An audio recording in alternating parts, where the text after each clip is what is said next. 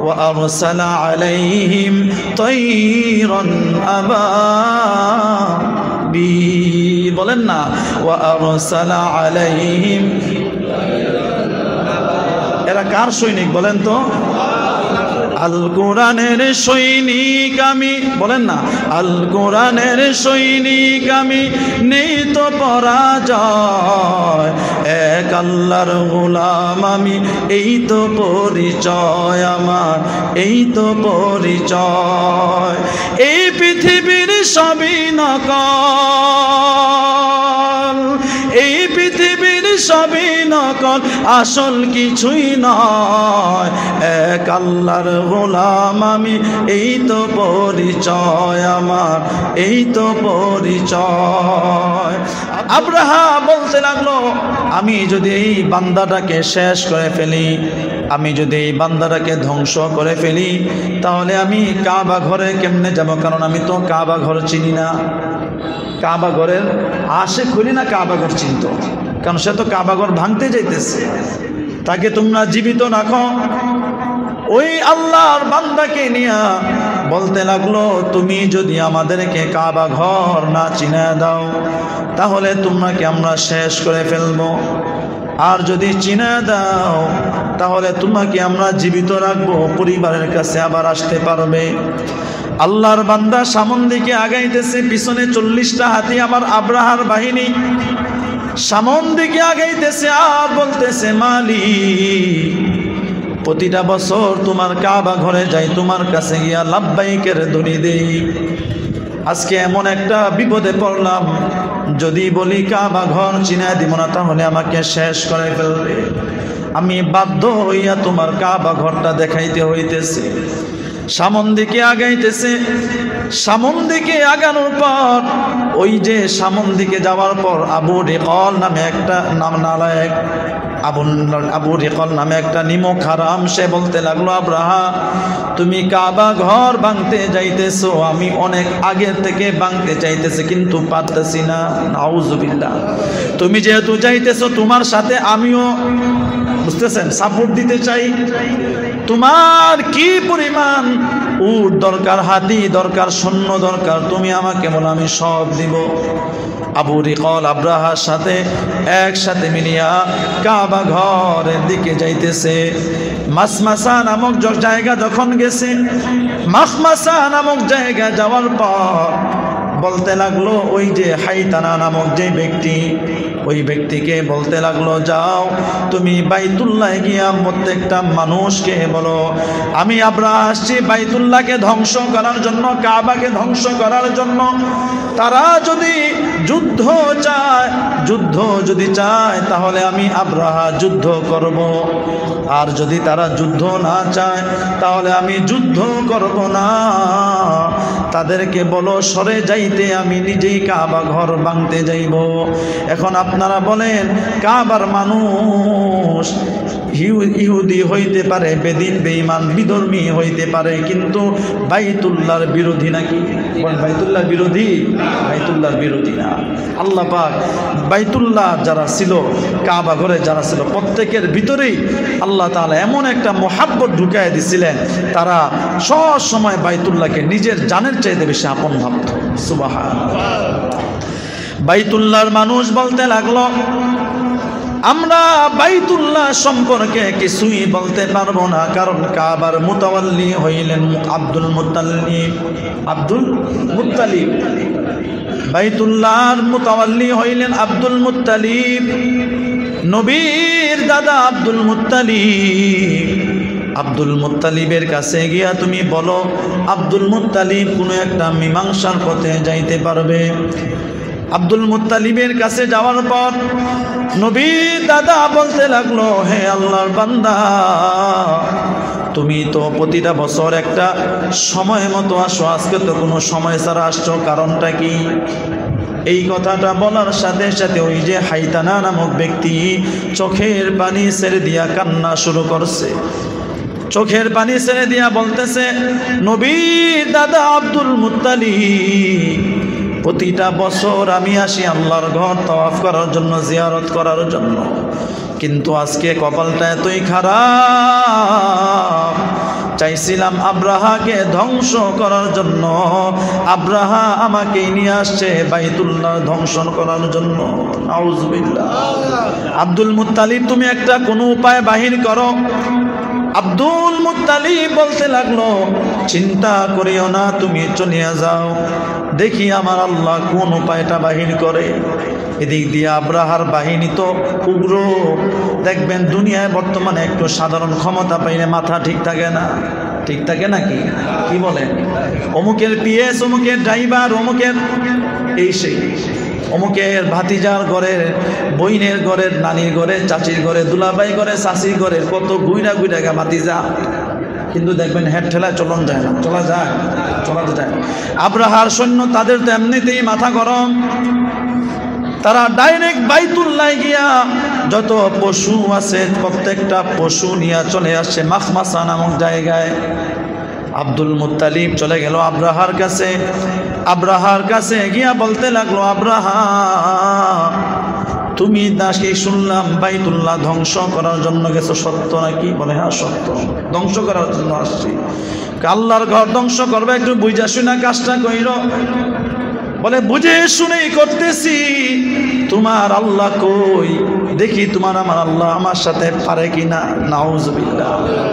Abdul Muttalib বলতে লাগল বাইতুল্লাহ তুমি ধ্বংস করবা, ঠিক আছে। কিন্তু আমি আব্দুল মুত্তালিবের একশোটা উট তুমি ধরে নিয়ে আসছো। কয়টা উট? একশোটা উট। কম উট না তো, একশোটা উট। ওই যে রবিউল আউ্বাল মাসে নবীজির জীবনী শুনছিলেন, তখন বলছিলাম, আব্দুল মুত্তালিব মান্যত করছিলেন যে, আমার যদি দশটা সন্তান হয়, তাহলে আমি একটা সন্তান আল্লাহ রাস্তায় দিব। জীবনে শুনছিলেন না? আমার আমি তো বলছিলাম। তখন লটারি দিছিলেন। প্রতিটা লটারির মধ্যে আবদুল্লার নাম আসছিল, নবীজির দাদার নবীজির বাবার নাম। তখন তিনি এক পর্যায়ে বলছিলেন যে, আমি প্রতিটা লটারির বিনিময়ে আমি দশটা করে উট দিব। মনে আছে আপনাদের ইতিহাসটা? পরে দশ নম্বরে গিয়া আবদুল্লার পরবর্তীতে আরেকজনের নাম উঠছিল। দশটা উটের নাম উঠছিল। তখন নবীজির দাদা আব্দুল মুত্তালিব যে একশোটা উট কুরবানি দিছিলেন আপনাদের হয়তো বা ইতিহাস মনে নাই, রবিউল আউ্বাল মাসে বলছিলাম, একশোটা উট জবাই দিছিলেন ওই একশোটা উটই এটা। বুঝতে পারলেন? এই আব্রাহা যে একশোটা উট ধরে নিয়ে আসছিল, এই একশোটা উটি পরবর্তীতে নবীজি জন্ম নেওয়ার পরে ওই যে লটারির সময়, ওই লটারির সময় গিয়া এই একশোটা উট জবাই দিছিলেন এই যে আব্রাহার কাহিনী আসে, নবীজির পঞ্চাশ দিন আগে কাহিনী করছে, আবার কোনো কোনো বর্ণনায় আসে নবীজির জন্মের পঞ্চাশ বছর আগে করছে। যেটাই হোক, পঞ্চাশ দিন আগেই যেই বর্ণনাটা, এটা হলো একটু শক্তিশালী ঘটনা বললে বুঝবেন। ওই যে আল্লাহর বান্দা, নবীজি দাদা আব্দুল মুত্তালিবকে গিয়া বলছে যে, আব্রাহা আসছে কাবা ধ্বংস করার জন্য। এটা বলার পরে আব্দুল মুত্তালিব বলছেন আচ্ছা তুমি ঠিক আছে, আব্রাহার কাছে চলে যাও, দেখি আমি কিছু পাই কি না এখন যারা জ্ঞানী, আমি প্রায় সময় একটা কথা বলি।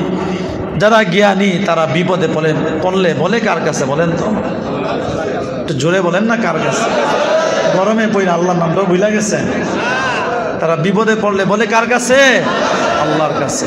আর আমি আপনি বলি কার কাছে? মানুষের কাছে। পার্থক্যটা কোথায়? এই জায়গায়। এটা মনে রাখবেন। হ্যাঁ মানুষের কাছে বলবেন, না করি না। বহু মানুষ আছে, আপনার আশেপাশে অনেক আল্লাহওয়ালা আছে, হাফেজ আছেন, আলেম আছেন, ইমাম, মুয়াজ্জিন, খতিব, বহু ভালো মানুষ, নামাজি আছেন, হাজি আছেন, গাজি আছেন, অনেকেই আছেন।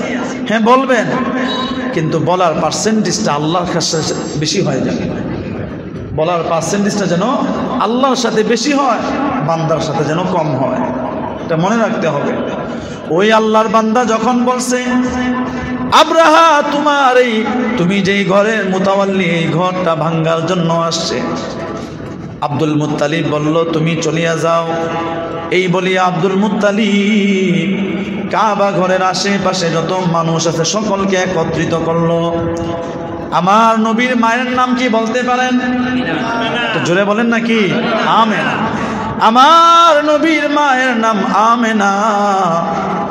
আব্দুল মোত্তালি বলতে লাগল, আমেনা, আসো, গরম লাগতে পারে খান খোলা আকাশের নিচে একটু বাইতুল্লার সামনে আসো। কি জন্য আসব বলেন? কি জন্য আসবা, তুমি আসো, তারপরে বলব, এই বাইতুল্লাহ ঘর ধ্বংস করার জন্য আব্রাহা নামক একটা বাহিনী আসছে। এই কথাটা শোনার সাথে সাথে মনের কান দিয়ে একটা মনের কান দিয়া শোনার পর মুখ দিয়ে একটা কথা বলবেন। আপনার যেই ঘর আছে, আপনার যেই জায়গা আছে, আপনার যেই সম্পত্তি আছে, এই সম্পত্তির উপর যদি কেউ ভাগ বসাইতে চায়, আপনি কি সহ্য করতে পারবেন নাকি বলেন না, সহ্য করতে পারবেন? সহ্য করতে পারবেন না। বাইতুল্লাহর মানুষগুলো চোখের পানি ছেড়ে দিছে। আর বলতে লাগল, আব্দুল মুত্তালিব, তুমি এটা কোনো সংবাদ দিলা? যেই বাইতুল্লাহকে দেখি আমরা, প্রতিটা দিন, দিনের শুরুতে কাজ কর্ম করতে যাই। ঘুমানোর আগে একবার বাইতুল্লাহরে গিয়া দেখি। সন্তানকে নিয়ে বাইতুল্লাহর সামনে যাই কোনো বিপদে পড়লে নিজের বুকটা বাইতুল্লাহ বুকের সাথে মিলাইয়া নিজের বুকটাকে ঠান্ডা করি। কোনো বিপদে পড়লে কাবার শরীরের সাথে চুমু খাই। এই বাইতুল্লাহকে ধ্বংস করার জন্য আসতেছে, তুমি কি বলতেছো? হ্যাঁ সত্যি। আব্দুল মুত্তালিব, সমস্ত মানুষকে নিয়া আল্লাহর কাছে দুইটা হাত তুলিয়া বলতে লাগল, আল্লাহ, কি শুনাইলা? এতদিন তো সুন্দর করেছিলাম। তোমার এক নাফরমান, বেদিন, বেঈমান নাকি তোমার ঘর ধ্বংস করার জন্য আসতেছে?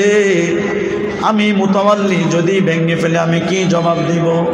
এই বলিয়া চোখের পানি ফালাইতেছেন আর বলতেছেন, আল্লাহ, তোমার একটা প্রিয়া বান্দি আমেনাকে নিয়ে দুইটা হাত তুলছি। তুমি নাকি আমিনার পেটের মধ্যে তোমার সবচাইতে প্রিয় বন্ধু আল্লাহর পয়গম্বর আল্লাহর পয়গম্বর হাবিবুল্লাহকে নাকি পাঠাইবা?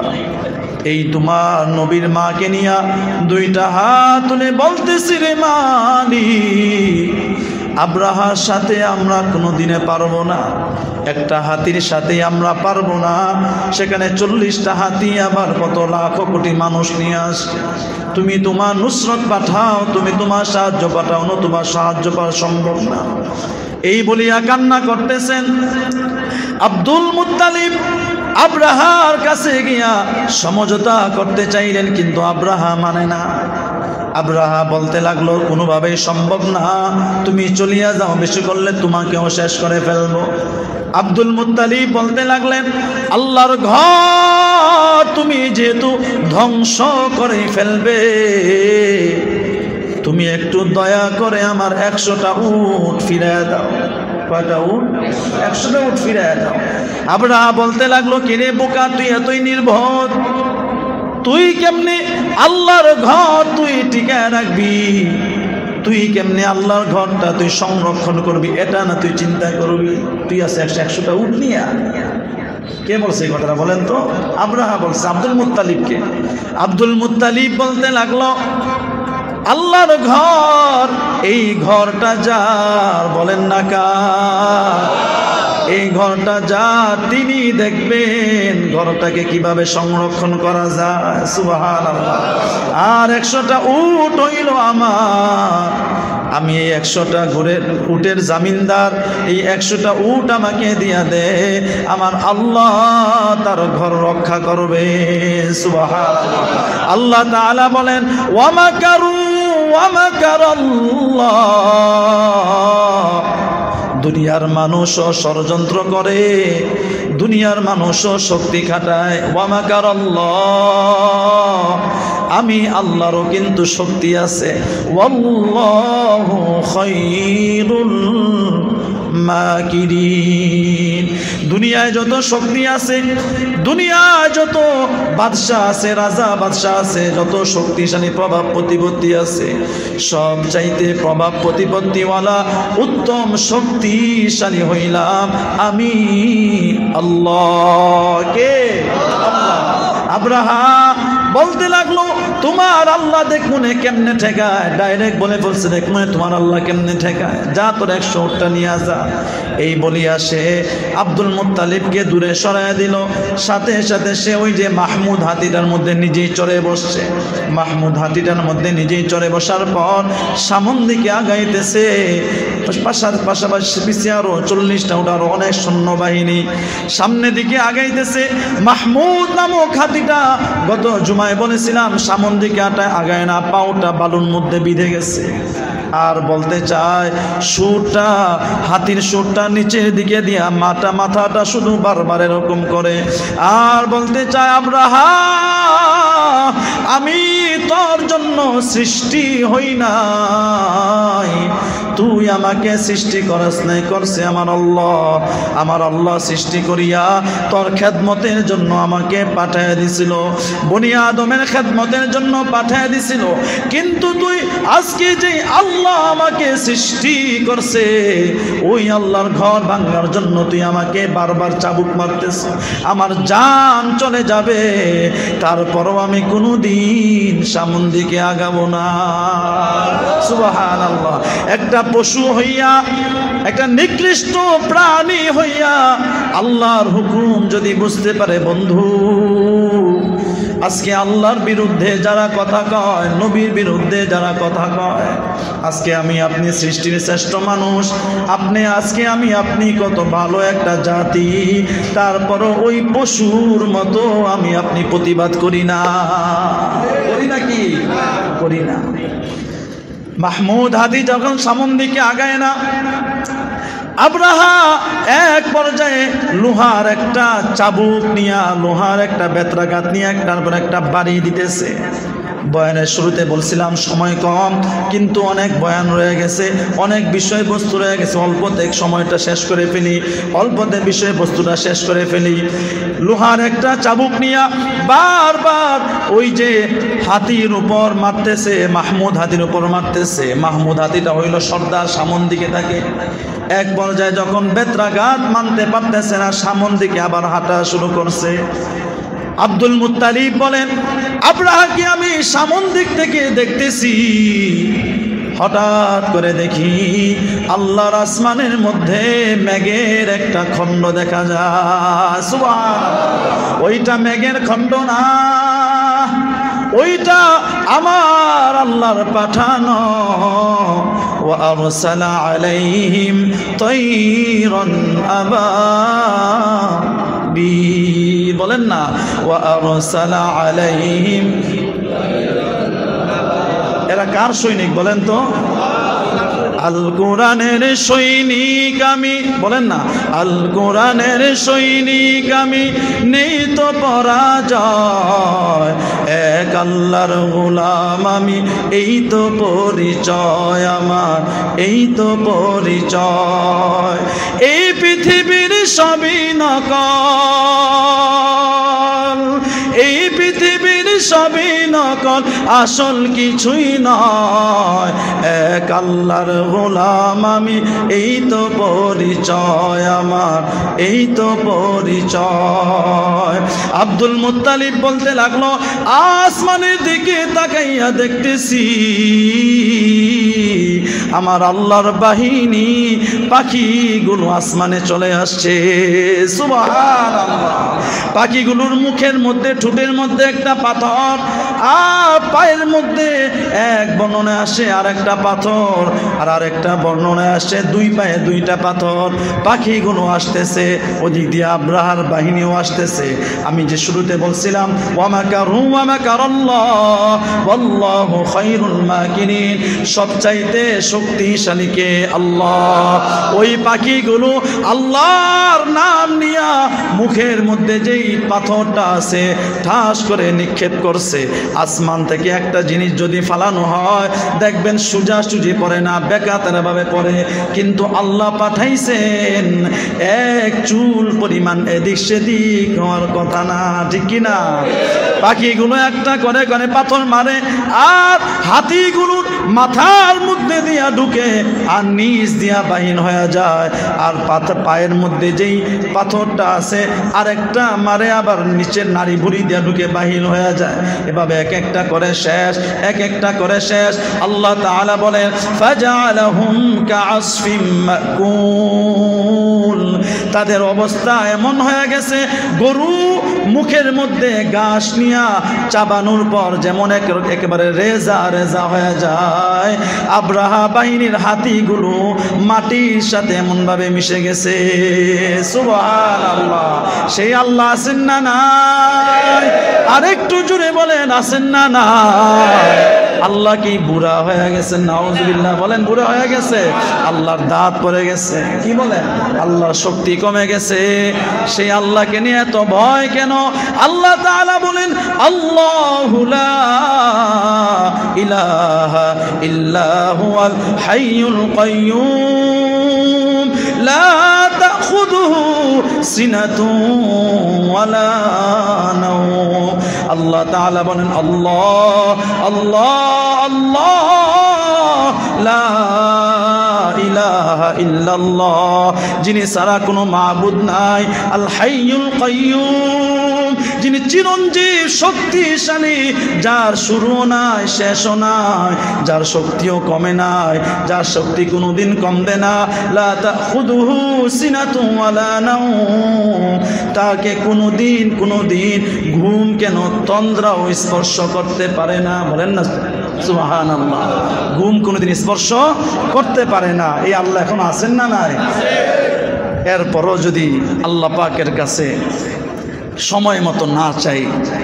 এরপরও যদি আল্লাহ পাককে না বলি, আল্লাহ পাকের কাছে বিপদে পড়লে না চাই, তাহলে আল্লাহ পাক স্বাভাবিক একদিন আপনার আমার দিক থেকে রহমতের দৃষ্টিটা ফিরে যাবে। এজন্য সব সময় আপনার যে বাবা আছেন, আপনার যে মা, আত্মীয় স্বজন, পাড়া প্রতিবেশী বন্ধু বান্ধব যারাই আছে, তারা একদিন ছিল না, একদিন থাকবেও না। আপনিও একদিন ছিলেন না, আপনি একদিন থাকবেনও না। যিনি থাকবেন, বিপদে পড়লে তাকে ডাকেন। বিপদে পড়লে কাকে ডাকতে হবে? আল্লাহকে ডাকতে হবে।